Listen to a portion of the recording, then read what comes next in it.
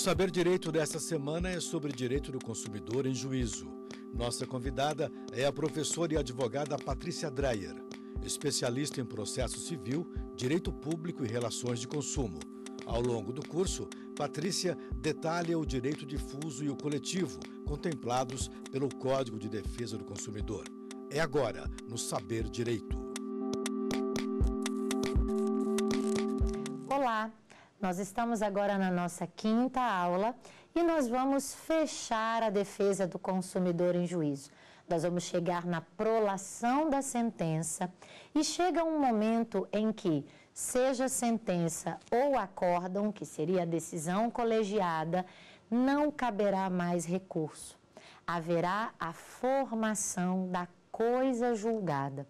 A coisa julgada é um tema extremamente importante para quem estuda o sistema da defesa do consumidor em juízo. Nós vamos ter, inclusive, um dispositivo no Código de Defesa do Consumidor, o artigo 103, e também o 104, outro dispositivo muito importante, para explicar como funcionar o efeito da decisão para aqueles que não participaram do processo. Para isso, a gente vai no conceito de coisa julgada. O que vem a ser essa coisa julgada? O artigo 502 do Código de Processo Civil, ele vai dizer assim: determina-se coisa julgada material a autoridade que torna imutável e indiscutível a decisão de mérito não mais sujeita a recurso. Nós estamos dizendo, portanto, que quando essa decisão de mérito, que vem a ser uma decisão de mérito, a decisão que apreciou a causa, essa decisão, ela, apreciando a causa, esgotou todas as possibilidades de discussão. Ou porque ela é uma sentença ou uma decisão da primeira instância que não se sujeitou a recurso e transitou em julgado, ou porque nós recorremos, subimos para uma outra instância, como por exemplo um tribunal de justiça, depois recorremos de novo, porque o Tribunal de Justiça decidiu, mas nós interpusemos recurso e fomos até as instâncias extraordinárias do STJ e do Supremo Tribunal Federal, mas mesmo assim chega uma hora em que não cabe mais recurso e finalmente essa decisão de mérito transita em julgado. Quando uma decisão de mérito transita em julgado, ela faz o que nós chamamos de coisa julgada material. Então, vai dizer aqui o artigo 502 que a coisa julgada material é essa autoridade da decisão que torna imutável, vai dizer aqui, e indiscutível a decisão de mérito. O que faz a coisa julgada é especialmente o dispositivo da decisão. É aquela parte do julgado em que o magistrado diz se julga procedente, se julga improcedente, se julga procedente em parte, se condena, se decreta, declara, rescinde o contrato, mantém o contrato, é nula a cláusula abusiva, não é nula esta cláusula, é uma cláusula válida. É o momento em que nós vamos ver o magistrado fechando, concluindo a sua decisão e dizendo para nós exatamente aquilo que nós esperávamos a partir do pedido formulado. Porque ou o nosso pedido no mérito vai ser um pedido procedente, improcedente ou procedente em parte. Porque nós vamos ter aquele que extingue sem mérito, mas esse não faz a coisa julgada que nós estamos estudando aqui. Nós estamos esperando uma coisa julgada material. A decisão pôs fim a toda discussão. É como se nós estivéssemos dizendo, afinal de contas, o consumidor tem razão? Afinal de contas, a empresa tem razão? Quem está certo? E aí, o magistrado decidindo chega nesse ponto final. É exatamente essa eficácia da coisa julgada que a gente precisa estudar nessa nossa aula. Para isso também, nós vamos aqui avançar e perceber o que não faz coisa julgada. O artigo 504 do Código de Processo Civil vai dizer que não é atingida pela eficácia da coisa julgada outra parte da decisão. Você conhece aquele modelão básico dos elementos da decisão: o relatório, o fundamento e o dispositivo. O que vimos até agora que faz a coisa julgada é o dispositivo, essa parte do julgado em que o magistrado enfrenta o pedido, julgando o procedente ou improcedente ou procedente em parte.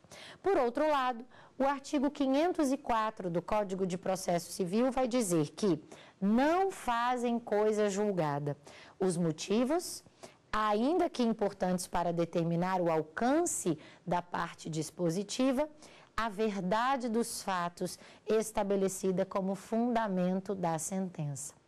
Quando o magistrado quis dizer aqui fundamento da sentença, leia-se fundamento da decisão interlocutória, fundamento da sentença ou fundamento no acórdão. Não é demais lembrar a novidade do artigo 356 do Código de Processo, que fala da decisão interlocutória parcial de mérito. O que, que nós estamos dizendo aqui? Nós vamos lembrar, até para ficar fácil, nós vamos lembrar daquele exemplo que nós conversamos sobre o meu nome negativado por uma dívida já paga e o pedido de dano moral e ressarcimento, repetição daquilo que eu não devo. Quando eu peço para o meu nome ser retirado dos cadastros de proteção, porque está mais do que provado que eu paguei as contas, o magistrado pode me conceder isso em sede de tutela de evidência, lá no começo do processo. Logo, de maneira antecedente, de maneira liminar, quando eu ajuizo a ação ou depois da citação do réu. Quando o réu se manifesta e diz que verdadeiramente a conta está paga e que meu nome realmente pode ser retirado dos cadastros de proteção, Quanto a este pedido, o magistrado já pode decidir de maneira definitiva. E quando ele decide essa parte de maneira definitiva, ele pode também dizer que agora esse é o capítulo da sentença que já está definido. Se não houver interposição de agravo de instrumento, que é o recurso cabível contra a decisão interlocutória parcial de mérito, esta parte da decisão, esta parte do mérito, vale dizer, este capítulo da sentença, como muito bem nos ensina a professora Tereza Arruda Alvim Vambier, transita em julgado. E se transita em julgado, faz coisa julgada. Está decidido. O meu nome tem que ser retirado dos cadastros de proteção. E aí a demanda vai continuar. A demanda vai continuar para definir se eu tenho direito a dano moral, porque o meu nome foi negativado indevidamente. A demanda vai continuar para decidir se eu tenho direito ao ressarcimento de algo que eu tive que pagar em excesso. E se eu tendo ressarcimento algo que eu tive que pagar em excesso, se eu também posso receber isso em valor simples ou em valor dobrado. Porque o artigo 42 do Código de Defesa do Consumidor nos ensina que o consumidor tem direito à repetição do indébito por valor igual ao dobro do que pagou em excesso. Então, eu posso também ter formulado um pedido dessa natureza. Apesar de o meu nome já não estar mais negativado, eu quero continuar decidindo essas coisas. Vamos pensar num caminho simples, num caminho fácil. Eu defini a primeira parte e essa decisão interlocutória transitou em julgado. No antigo Código de Processo Civil, nós não conhecíamos uma decisão interlocutória que transitava em julgado. Nós não conhecíamos capítulos da decisão sendo julgados em, em momentos diferentes, capítulos do pedido sendo julgados em momentos diferentes também. Agora nós temos, a partir do artigo 356, temos inclusive a possibilidade de execução, de cumprimento dessa parte. Já retira logo o meu nome dos cadastros de proteção e nós avançamos para decidir a outra parte, a parte agora controvertida. E aí o juiz finalmente decide. Passadas as fases que nós já falamos aqui, a resposta do réu, a resposta do autor, a decisão de saneamento e organização do processo, a produção de provas, respeitado o ônus da prova, agora a gente vai para a decisão judicial, para a sentença. Vamos imaginar que o magistrado tenha proferido a decisão e, ao prolatar essa decisão, que aqui vai ser uma sentença, uma sentença de mérito, ele diga o que me beneficia, obviamente. Julgo procedente o pedido da autora, condenando a empresa fornecedora a ressarcir o valor pago em excesso por valor igual ao dobro do que a consumidora pagou. Perfeito, maravilhoso saiu essa sentença do jeito que eu esperava. Eu não tenho interesse em recorrer, eu não sucumbi. Quem sucumbiu, formal e materialmente, foi a empresa fornecedora. Qual é o meu papel nesse momento? Aguardar. Porque a fornecedora pode recorrer. Mas se ela não recorrer, vai transitar em julgado essa parte do decisum que disse para nós que, transitando em julgado, é procedente o meu pedido de consumidora, tenho eu direito à repetição do indébito por valor igual ao dobro do que eu paguei, pode ser executada. E aí eu vou cumprir essa sentença. Bom, nós vamos ter dois momentos aqui importantíssimos de estudarmos, que é a liquidação da sentença e o cumprimento da sentença. A liquidação da sentença é aquela fase em que a sentença foi proferida, mas não foi colocado um quantum. Qual é o valor que eu tenho direito de receber? Quanto que eu vou receber? Qual é o valor da minha indenização? Para isso, eu vou precisar fazer uma liquidação de sentença. A liquidação de sentença vai se dar especialmente se lá na petição inicial o meu pedido foi um pedido genérico. Um pedido em que eu não conseguia ainda definir as consequências do ato ilícito.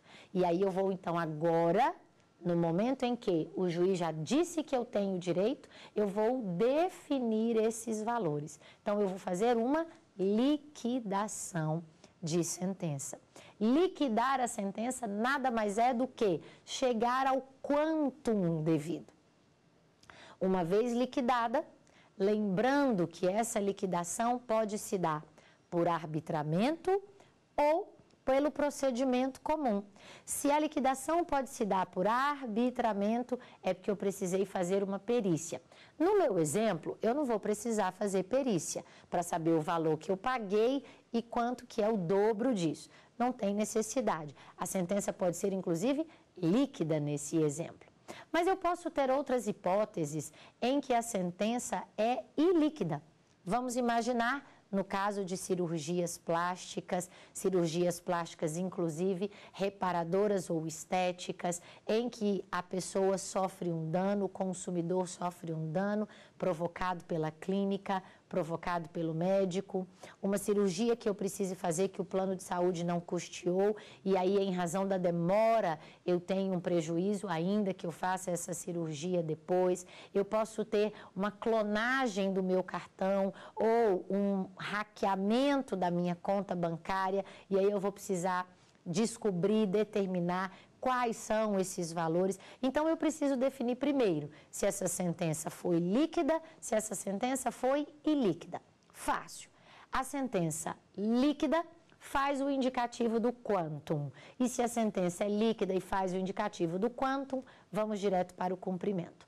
Se a sentença é ilíquida, ou seja, fiz lá atrás um pedido genérico, não consegui ainda definir os valores, o juiz julgou o meu pedido procedente, transitou em julgado, porque é isso que a gente está olhando aqui, a eficácia da coisa julgada, agora eu vou fazer cálculo. Eu vou chegar num procedimento chamado, portanto, de liquidação para definir esse quanto. Muito bem. Aí eu liquidei por arbitramento ou pelo procedimento comum, vale dizer, se foi por um perito ou se eu passei de novo pela produção de provas para definir o valor necessário, para definir o que é que deve me ser indenizado, cheguei no valor. Agora nós vamos cumprir a sentença. Quando eu vou cumprir a sentença, eu tenho que passar por cinco passos. Uma vez que o magistrado deu uma decisão em que está definido o quantum devido, ou esse quantum já veio devido na sentença, eu já sei quanto é devido. Isso é o que importa. Se eu já defini desde a sentença líquida, ou se eu tive que fazer uma liquidação, mas já defini o valor, então eu já sei exatamente quanto é devido. Primeiro passo: o devedor tem prazo para pagar prazo de 15 dias. Passou o prazo de 15 dias, ele não pagou, eu comunico ao juízo e peço então que seja imputada uma multa, multa de 10% sobre o valor devido. Passou o prazo, não pagou, tem multa de 10%, ainda assim ele não pagou. Então eu vou pedir a penhora do patrimônio. Feita a penhora do patrimônio, se eu achar patrimônio para penhorar, agora ele tem o direito de se defender. Se eu não achar patrimônio para penhorar, ele também tem o direito de se defender, porque sempre nós vamos ter contraditório e ampla defesa. Mas vai chegar um momento em que ele vai se defender por meio da impugnação, no prazo de 15 dias. O magistrado, apesar de omisso o código, vai abrir prazo para que eu, na qualidade de consumidora, responda a essa impugnação e será proferida uma decisão. Então, é prazo, multa, penhora, impugnação e decisão. Decisão do cumprimento de sentença. Chegamos ao final. Agora, a sentença deve ser cumprida, porque o juiz decidiu, quanto à impugnação da empresa fornecedora, que eu tenho o direito de ser indenizado naquele determinado valor. E que se o patrimônio está penhorado, esse patrimônio penhorado da empresa fornecedora deve agora ser transformado de maneira que eu possa ser indenizada, ou porque eu vou adjudicar esse patrimônio, vai ficar para mim, ou porque eu vou alienar por iniciativa particular no mercado para fazer dinheiro e ficar para mim, ou porque nós vamos levar, levar esse patrimônio à asta pública. Estou querendo dizer assim, bem simples, a gente conseguiu localizar vários equipamentos eletrônicos de uma determinada empresa fornecedora. O que, que a gente pode fazer? Penhora os equipamentos eletrônicos. Aí, primeira oportunidade. Patrícia, você quer ficar com esses equipamentos eletrônicos? Eu posso adjudicar. Eu posso dizer, não, não quero, vamos vender no mercado. E aí a gente vende por iniciativa particular, nomeado um corretor pelo juiz, para ver se a gente consegue fazer algum dinheiro melhor a partir daí, algum valor mais interessante. Mas se passar do prazo a gente não conseguir alienar, asta pública, leilão, de alguma maneira a gente vai fazer um valor aí e eu vou ser indenizado. Ou eu vou ser, no meu caso, indenizada. De toda maneira, chegamos ao final dessa demanda, operou-se a coisa julgada, foi cumprida a decisão, não há mais o que discutir sobre esse caso. A coisa julgada, ela traz essa eficácia, ela traz segurança jurídica. Isso nas ações individuais. Há um ponto importante que a gente precisa conversar. Porque essas ações individuais que eu acabei de mencionar aqui com você são ações individuais do melhor panorama. Ações individuais em que o consumidor venceu, ações individuais em que o fornecedor, o requerido, tinha patrimônio, esse patrimônio foi penhorado e esse patrimônio transformou-se por meio da constrição judicial ou por meio dessa expropriação, da retirada desse patrimônio das mãos da empresa fornecedora, ele tornou-se aqui a concretização da indenização do consumidor. Mas existem outros quadros que não são tão bonitos assim. Existem outras hipóteses que não são tão favoráveis assim e que a gente também precisa conhecer. Por exemplo, quando a gente tem nas obrigações de fazer ou não fazer, o descumprimento da determinação judicial, e aí a gente vai agora executar a multa, as astrentes que a gente conversou nas aulas anteriores. Quando a gente fala em astrentes, em cobrança, execução da multa das ações individuais, então, com o trânsito em julgado, pode o consumidor, já que a gente está falando que operou-se a coisa julgada, ele pode falar assim: olha, a despeito da obrigação ter sido cumprida, ela não foi cumprida a contento. Porque o magistrado deu, por exemplo, cinco dias para que a financeira retirasse o meu nome do gravame. Ou o magistrado deu 15 dias para que o banco desse baixa na hipoteca de determinado imóvel, porque eu quero me liberar desse imóvel, eu quero vender esse imóvel, alienar, passar esse imóvel para frente. E aí ela cumpriu, mas ela não cumpriu a contento. O magistrado deu 15 dias, ela levou 60 dias. O magistrado determinou que um determinado plano de saúde fornecesse um medicamento, oferecesse um tratamento, fornecesse a cirurgia, custeasse a cirurgia. Isso foi feito, a obrigação foi cumprida, mas levou 90 dias para isso acontecer. Então, a multa desse período deve agora ser executada. Lembrando que, na hora de cumprir essa multa, já que eu estou falando das astrentes, essa multa pode ser revista, porque ela pode ser revista a qualquer tempo. O valor, a periodicidade podem ser revisitados para mais ou para menos quando o magistrado verificar que essa multa tornou-se excessiva ou insuficiente. Mas aqui eu quero chamar a sua atenção no que diz respeito à multa no caso das demandas coletivas. Lá na Lei da Ação Civil Pública, vou pegar aqui para a gente estudar junto, na Lei da Ação Civil Pública, Lei 7347 de 1985, o legislador determina no artigo 11 que essa multa só será executada com o trânsito em julgado com a formação da coisa julgada. Vejam comigo o teor do artigo 11 da Lei 7347 de 85. Ele diz assim: na ação que tenha por objeto o cumprimento da obrigação de fazer ou não fazer, o juiz determinará o cumprimento da prestação da atividade devida ou cessação da atividade nociva, sob pena de execução específica ou combinação de multa diária, se esta for suficiente ou compatível, independentemente do cumprimento do autor.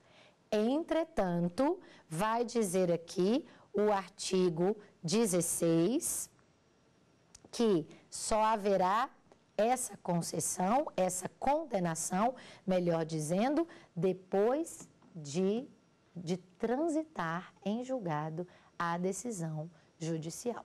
Então, a multa, no caso da Lei da Ação Civil Pública, será executada em momento posterior ao trânsito em julgado, diferentemente da demanda individual, que a gente pode executar de maneira provisória. Falando dessa demanda coletiva, a gente pode ter algumas perguntas aqui. Como é que vai funcionar a par da demanda individual que nós conversamos agora, como é que vai funcionar no caso das ações coletivas? Imaginemos Ministério Público, Defensoria Pública, associações, PROCON, ajuizando uma ação coletiva, pedindo então uma decisão judicial que tenha efeitos para defender essa esse grupo indeterminado de pessoas cujo direito tem natureza indivisível, vence a demanda, perde a demanda, transita em julgado. Funciona para mim?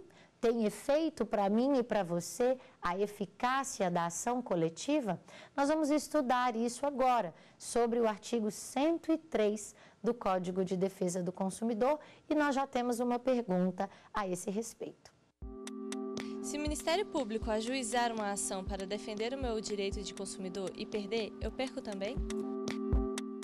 Já pensou, meus amigos?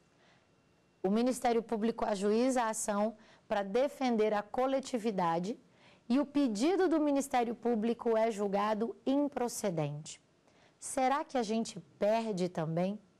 Será que o fato de o um Ministério Público que a gente confia tanto, que está tão equipado para defender coletivamente o direito do consumidor, como outros direitos, como a gente conversou aqui, o patrimônio histórico, o paisagístico, a ordem econômica, será que o MP perdendo isso me prejudica? E pior, se essa decisão transita em julgado, se essa decisão faz coisa julgada, eu, na qualidade de consumidora individual, posso rediscutir essa causa? Ou eu posso já ter uma demanda acontecendo em que eu posso continuar discutindo, posso inaugurar uma ação? Como vai funcionar isso? O Código de Proteção e Defesa do Consumidor, no artigo 103, ele regula isso para nós. Então, o artigo 103 importantíssimo artigo para nós, o artigo 103 do CDC, do Código de Proteção e Defesa do Consumidor, vai dizer para nós como é que isso funciona. Ele vai falar para nós da eficácia da coisa julgada nas demandas coletivas. Lembrando aqui que eu estou falando das demandas coletivas em sentido amplo, demandas essas que vão tratar dos direitos difusos, coletivos e individuais homogêneos. Recapitulando, o artigo 81 diz para nós quais são os direitos difusos de um grupo indeterminado de pessoas com direito de natureza indivisível e esse grupo tem como ponto comum uma situação de fato. Artigo 81, inciso 2. Direitos coletivos ou coletivos em sentido estrito. Direitos de um grupo indeterminado de pessoas, porque muito numeroso, mas que pode ser identificado, que pode ser individualizado, porque pode ser um grupo, uma categoria ou uma classe. Mas o que tem de ponto comum é a relação jurídica base. Aquele caso em que várias pessoas têm, por exemplo, o mesmo contrato, o mesmo plano de saúde, o mesmo banco como lugar em que tem conta corrente, a mesma administradora do cartão de crédito. Então, nestas hipóteses, como vai funcionar na relação jurídica base?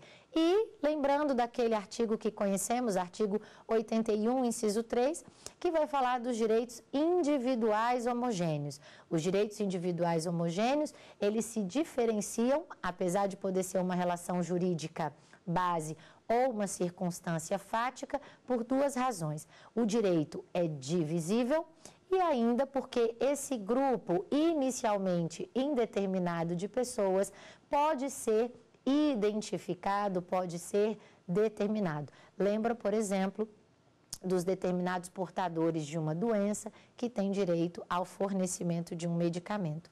Nestas hipóteses, então, é que nós vamos conhecer aqui. Tem uma demanda coletiva, essa demanda foi proposta e agora, transitada em julgado, eu quero saber se essa coisa julgada nos atinge enquanto consumidores. O artigo 103 vai tratar das três hipóteses e a gente vai conhecer aqui a coisa julgada com eficácia erga omnes, a coisa julgada com eficácia ultra partes. Só para a gente lembrar desses conceitos.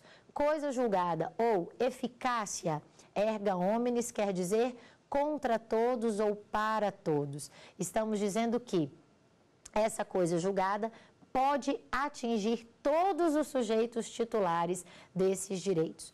Coisa julgada ultra partes, ou seja, produz efeitos para as partes do processo, mas ultrapassa atingindo outros sujeitos. E a gente vai identificar em que situação isso vai acontecer. O artigo 103 vem com a seguinte redação e eu peço licença para ler para vocês. Diz assim: nas ações coletivas de que trata este código, esse microsistema que estamos conversando, a sentença fará coisa julgada.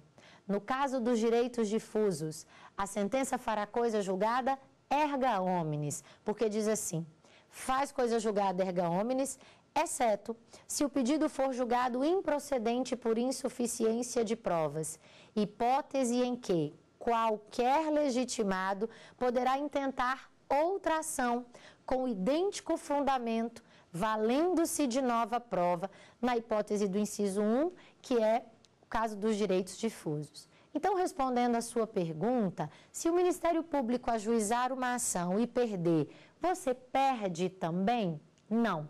Por que você não perde? Porque se for um direito difuso, você pode conforme nos orientou aqui o artigo 103, inciso 1, você pode ajuizar uma nova ação valendo-se de nova prova. Você pode, inclusive, ter o mesmo fundamento, mas você tem prova nova, você tem peculiaridade. E aí você pode, então, propor a sua demanda.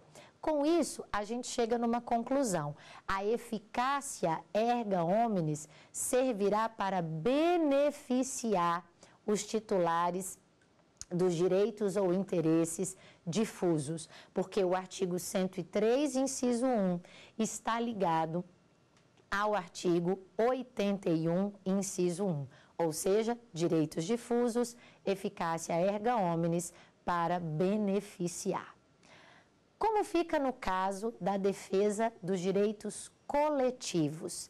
Direitos estes em que nós vamos ter a relação jurídica base. Vai dizer aqui o artigo 103, inciso 2, que nas ações coletivas a sentença fará coisa julgada outra partes, ou seja, extrapola os sujeitos da demanda. Até porque o sujeito que está na demanda é a Defensoria Pública, a União, a Associação, o Ministério Público. Então, nós vamos ter outros sujeitos atingidos aqui. Só que esses outros sujeitos atingidos não estão no processo são os vários titulares da conta corrente, são os vários titulares do plano de saúde, são os vários titulares que contrataram com uma determinada operadora de telefonia, são os vários contratantes de um plano de internet, são os vários consumidores que compraram determinado equipamento. Então a gente vai ter uma coisa julgada que extrapola por isso ultra partes, mas que por outro lado limita, porque vai dizer aí que é limitada ao cargo, ao grupo, desculpe, ultrapartes limitadamente ao grupo, categoria ao, ou classe, salvo, de novo, improcedência por insuficiência de provas. Por quê? Porque é sempre para beneficiar. Se você, na qualidade de consumidor, tem uma prova nova, tem uma peculiaridade, tem um fato diferente, a eficácia da coisa julgada não é transportada para o direito individual. Nós vamos dizer que esse transporte ele acontece in utilibus, ou seja, in utilibus, ou seja, sempre para ter utilidade, sempre para beneficiar. Transportar a coisa julgada da ação coletiva para o direito individual só se for para beneficiar. Não pode ser transportada a coisa julgada da ação coletiva para o direito individual, no sentido de prejudicar o consumidor, notadamente se esse consumidor tiver uma prova diferente, notadamente se ele tiver um fato peculiar que envolve a sua situação. Por outro lado, evidentemente que se for para beneficiar, então nós vamos ter sim a eficácia dessa coisa julgada. Porque quando ele coloca salvo por insuficiência de provas, então ele está dizendo, se for um pedido procedente, atinge todos esses beneficiários, todos esses titulares dos direitos ou interesses coletivos.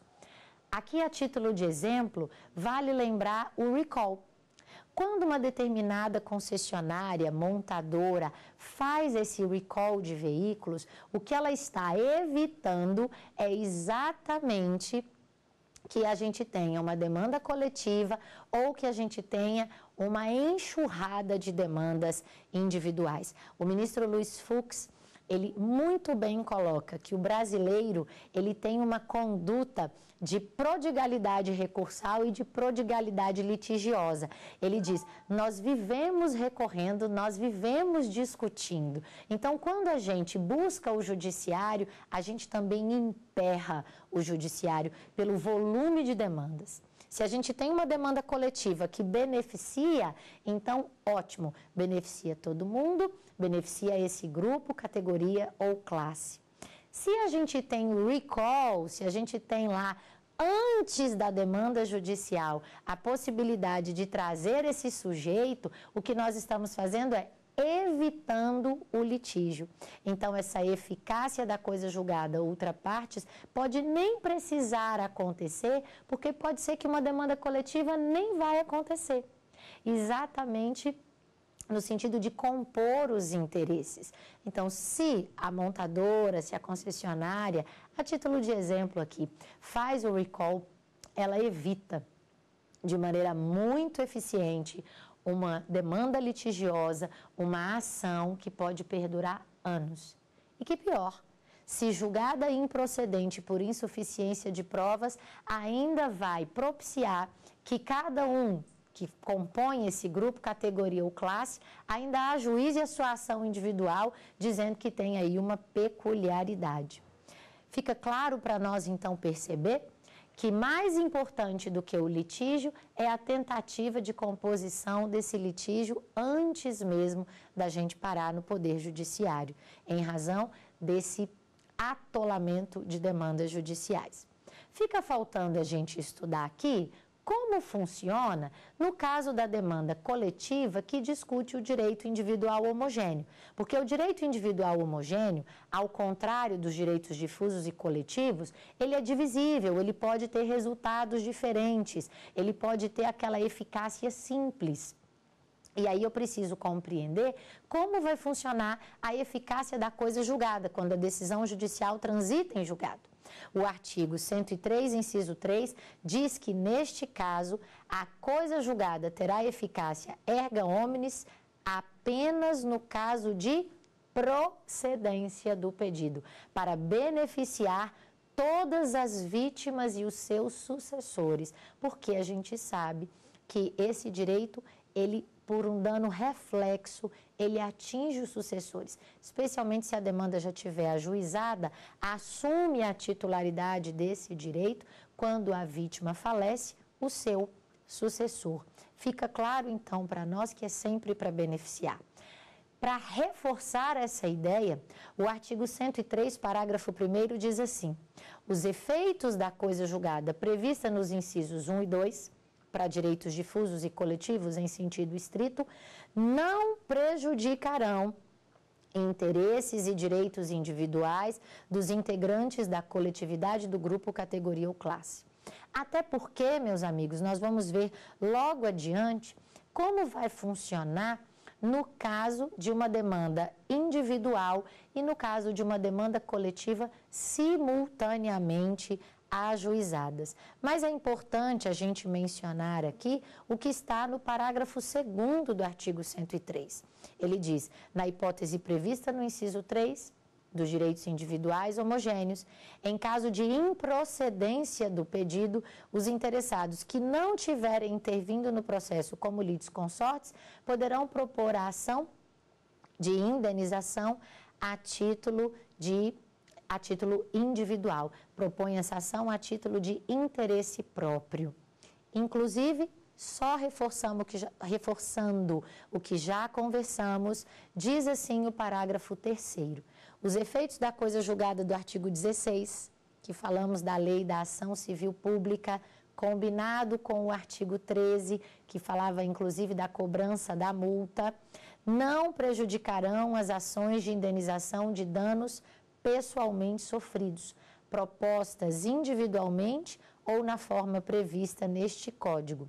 Mas, se procedente o pedido, beneficiarão todas as vítimas e os seus sucessores que poderão proceder à liquidação e à execução nos termos do artigo 96 a 99. Então, a gente precisa compreender, no curso da demanda, o que pode acontecer quando uma demanda coletiva tem um resultado e eu não participei da causa. Ou quando uma demanda coletiva tem um resultado, mas eu participei da causa na qualidade de litisconsorte. Vamos imaginar alguns exemplos e tem uma pergunta sobre essa questão. Vejamos. Defensoria Pública propôs uma ação contra o limite de internação em contrato do meu plano de saúde e venceu. Essa decisão me alcança como consumidor? Olha que interessante. Se a Defensoria Pública propôs uma ação para discutir sobre aquela cláusula do limite de internação em contratos de plano de saúde, e ele diz do meu plano de saúde, então ele tem também uma relação jurídica com esse plano de saúde. Direito aqui coletivo, coletivo em, em sentido estrito. Nós podemos ver aí a relação jurídica base. Se for possível identificar, direito individual homogêneo. Se for um direito de natureza indivisível, porque é a cláusula do contrato, por exemplo, então a gente vai ter aí uma relação jurídica base, é direito coletivo em sentido estrito. E aí está dizendo assim: ele pergunta, a Defensoria Pública propôs a demanda e venceu. Pode ele agora executar esta ação? Se estamos dizendo de uma nulidade de contrato, ele pode querer executar para se ver internado ou para ver um dependente do seu plano de saúde internado, já que a gente está falando dessa cláusula de dias limite de internação. Aliás, tem uma outra coisa de plano de saúde que é interessante a gente mencionar aqui, que é a hipótese de mudando de faixa nós termos, por exemplo, uma mudança também brusca de valor de mensalidade, de valor da prestação do plano de saúde. Nós sabemos disso. Nós sabemos que quanto mais avançada a nossa idade, mais caro é o nosso plano de saúde, a mensalidade do nosso plano de saúde. E por que isso? Porque nós vamos recorrer mais aos hospitais e aos médicos. Nós vamos precisar mais de atendimentos de emergência, porque a nossa saúde vai ficando mais debilitada. E então nós temos esse aumento. Mas esse aumento de uma faixa para outra, ele deve ser um aumento razoável. Baseado em que critério? No critério da proporcionalidade. Ele não pode dobrar de uma faixa para outra. Um dia você tem 60 anos, no dia seguinte você tem 61, e aí agora você paga o dobro do que você pagava no mês anterior, isso extrapola a esfera do razoável. Então, os tribunais estão aí, especialmente o STJ, manifestando-se no sentido de que isso é absolutamente abusivo. A mesma coisa, se estamos falando dos nossos planos de saúde, se eu estou internada ou tenho um parente meu internado, o plano de saúde está dizendo que eu tenho dias limite de internação, mas a Defensoria Pública ajuizou uma ação, ou qualquer um dos legitimados ajuizou uma ação e venceu. Posso eu executar? Posso.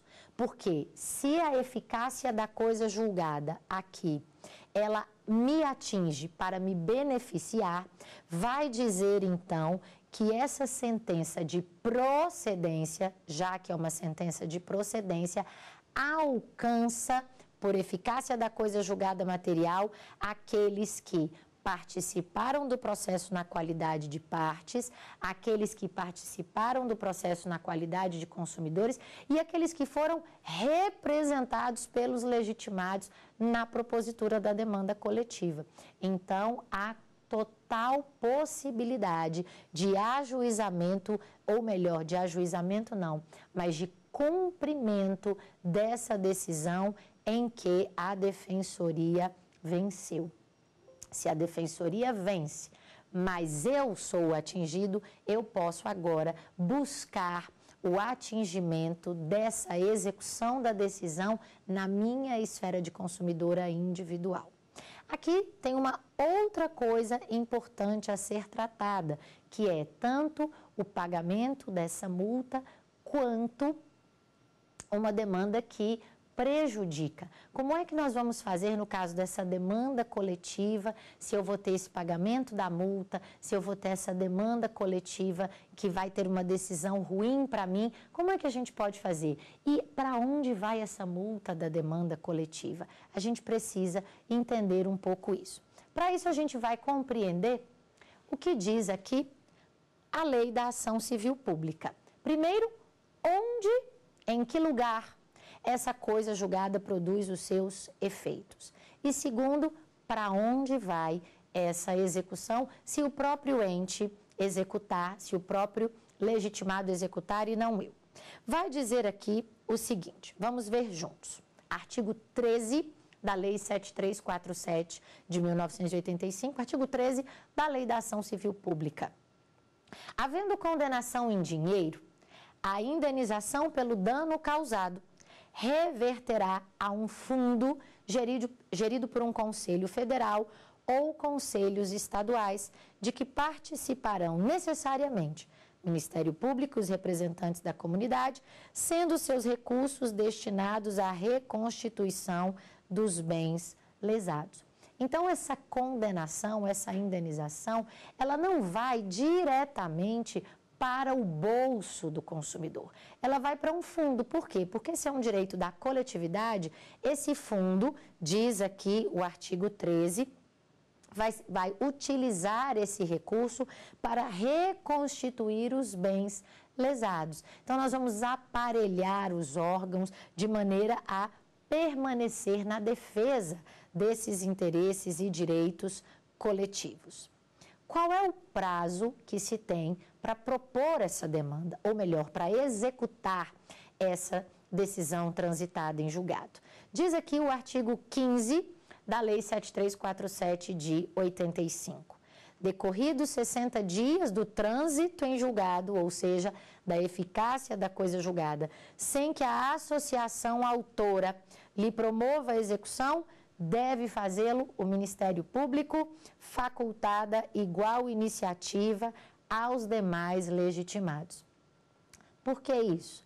Porque o artigo 16 nos ensinou a sentença fará coisa julgada erga omnes, nos limites da competência territorial do órgão prolator, exceto se o pedido for julgado improcedente por insuficiência de provas, hipótese em que qualquer legitimado poderá, poderá intentar outra ação com idêntico fundamento, valendo-se de nova prova. O que vemos então é uma aproximação de decisões ou de dispositivos tanto da Lei da Ação Civil Pública quanto do Código de Defesa do Consumidor, que dizem que, se for para prejudicar, eu não vou ser atingida, mas se for para beneficiar, eu posso então ser atingida pela eficácia dessa coisa julgada. E como fica no caso dessa condenação? Nós temos uma pergunta sobre essa execução, tanto da condenação quanto da multa. Vamos ver. Eu posso executar uma decisão judicial que uma associação ganhou contra um banco que sou correntista? Se nós nos aproximarmos daquilo que acabamos de ver nos dispositivos da Lei da Ação Civil Pública, nós vamos dizer que sim, o consumidor, titular desse direito coletivo, pode executar, mas ele não vai executar para si, ele vai executar esta decisão para o fundo, para essa coletividade, para esse fundo que vai ser utilizado para a reconstituição, para a reconstrução dos bens lesados. Então, se eu ou você, na qualidade de consumidores, temos conhecimento de uma demanda coletiva em que o banco que a gente é correntista perdeu e deve ser condenado, eu e você podemos executar, podemos buscar o cumprimento dessa decisão judicial transitada em julgado porque fomos por ela atingidos. Fomos por ela atingidos no sentido de exigirmos na nossa esfera individual, mas também no sentido de exigir esse cumprimento. Lembrando que, primeiro, nos primeiros 60 dias, é legitimidade própria de quem ajuizou a ação. Se não houver execução dessa entidade que ajuizou a ação, o Ministério Público ou qualquer outro legitimado deve fazê-lo. E nós, na qualidade de consumidores individuais, vamos exigir esse cumprimento para a coletividade, porque é nosso direito buscar este cumprimento. No que diz respeito a consonância de uma ação individual e de uma ação coletiva que discutam a mesma coisa, porque eu também posso ter uma ação contra esse banco. Então, nesse caso, nós vamos aproveitar o artigo 104 do Código de Defesa do Consumidor, que eu vou me permitir ler com você, porque ele tem uma redação bastante explicativa. Ele vai dizer exatamente como é que vai acontecer com o ajuizamento ou com essa conformidade de duas demandas, uma coletiva e uma individual. Diz aqui o artigo 104.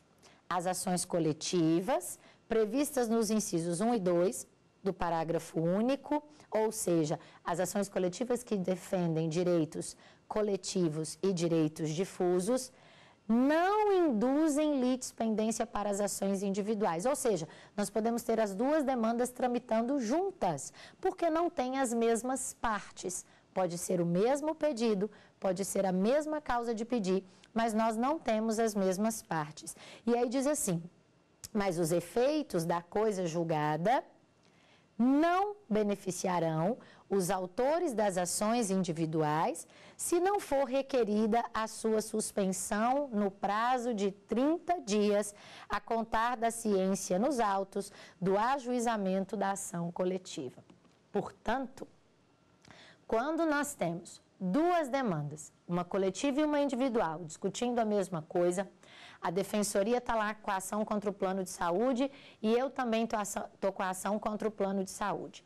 Se a defensoria propôs a demanda coletiva e eu fui comunicada disso, eu tenho da intimação prazo de 30 dias para pedir a suspensão da demanda individual e deixar correr a demanda coletiva, porque se a decisão da demanda coletiva for favorável, então eu vou me beneficiar disso e posso até extinguir depois a demanda individual.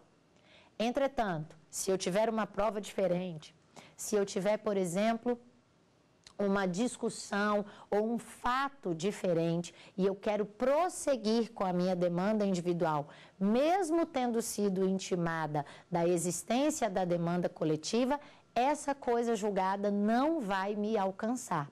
O artigo 103, quando ele fala do alcance da coisa julgada, ele está falando desse alcance da coisa julgada para dois sujeitos ou para duas possibilidades ou para o sujeito que não participou da demanda, ou para o sujeito que, tendo ajuizado uma demanda individual, pediu a suspensão.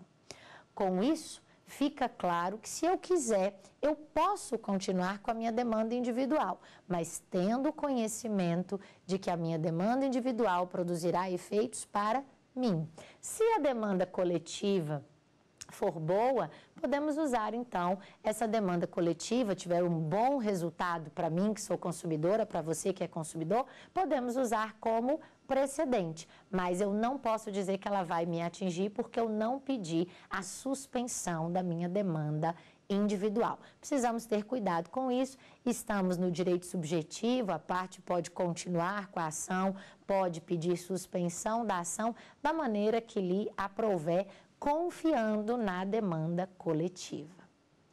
Bom, meus amigos, nós passamos aqui por alguns dias de aulas tentando explicar, sem querer, obviamente, esgotar o assunto, da defesa do consumidor em juízo. Como ele pode provocar o Poder Judiciário, o que ele pode pedir, que multa ele pode pedir, contra quem, como nós vamos manejar o cumprimento das decisões, se forem decisões líquidas, se forem decisões ilíquidas, vamos liquidar primeiro para depois cumprir. Chega uma hora em que ela transita em julgado e aí nós vamos ver a eficácia da coisa julgada nas ações coletivas, como vimos no artigo 103, e a peculiaridade do artigo 104, que vai falar da necessidade de suspensão. Vimos todas as possibilidades, de modo panorâmico, de defender o consumidor em juízo. Lembrando que são cabíveis todas as ações, há uma riqueza de demandas a partir dos artigos 84 do Código de Defesa do Consumidor, do artigo 1 da Lei da Ação Civil Pública, do artigo 1 da Lei da Ação Popular e, obviamente, de toda essa sistemática do Código de Processo Civil. Eu espero então que você tenha gostado, que você tenha aproveitado essas aulas. Eu fico à disposição para eventuais esclarecimentos. Quero agradecer muitíssimo a oportunidade e desejar a todos vocês ótimos estudos. Ficou com dúvidas? Mande um e-mail para saberdireito@stf.jus.br. Lembrando que você também pode estudar pela internet. Basta acessar tvjustiça.jus.br.